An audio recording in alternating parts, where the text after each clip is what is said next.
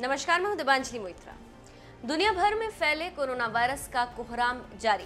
दुनिया में अब तक 213 देश कोरोना संक्रमण की चपेट में और पिछले 24 घंटे में दो लाख छत्तीस हज़ार नए मामले सामने आए, जबकि पाँच हज़ार चार सौ अड़सठ लोगों की मौत हो गई।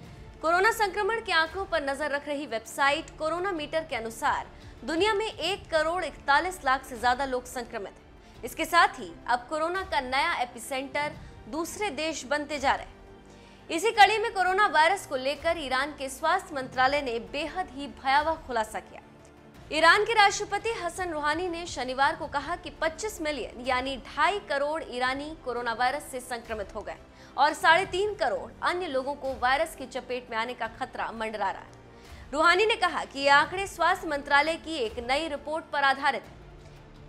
यहाँ पर आपको एक जानकारी देते चले कि ईरान की आबादी कुल 8 करोड़ है और मध्य पूर्वी देश ईरान महामारी से सबसे ज़्यादा प्रभावित। है रूहानी ने भाषण में कहा कि हमारा अनुमान है कि अब तक 25 मिलियन ईरानी इस वायरस से संक्रमित हो चुके हैं और लगभग चौदह हज़ार लोग अपनी जान गंवा चुके हैं। कुल दो लाख से अधिक लोग अस्पताल में भर्ती।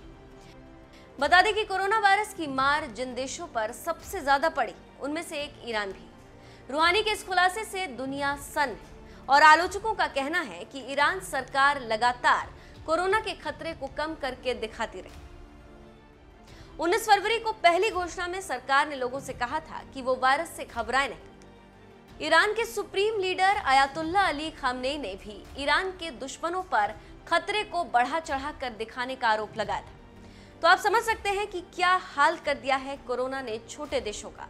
और इसके साथ ही साथ कई रिसर्च खतरनाक संकेत दे रहे हैं और कह रहे हैं कि मौत का आंकड़ा अभी आगे और बढ़ेगा और करोड़ों में होगा।